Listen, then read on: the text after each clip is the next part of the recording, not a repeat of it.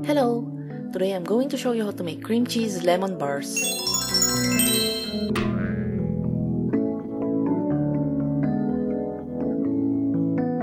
You will need 1 pack of lemon cake mix, 1 3rd cup of butter, softened, 3 large eggs,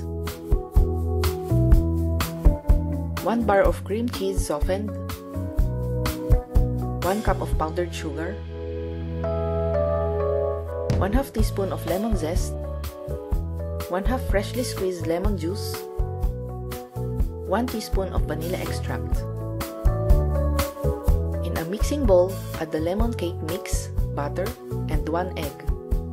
Mix this well.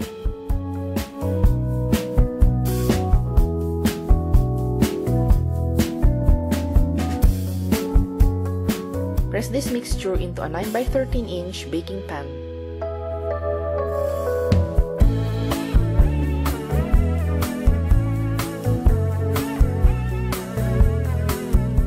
A bowl, beat the cream cheese until smooth. Then add the powdered sugar,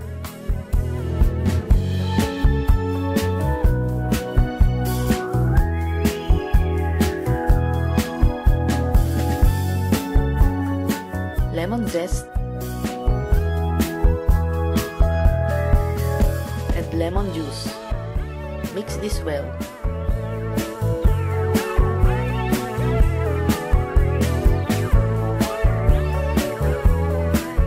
Reserve 1 2 cup of this lemon frosting.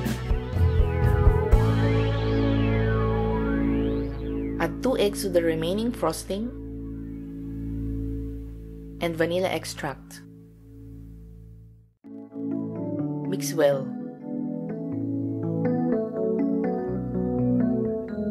Spread this evenly over the crust.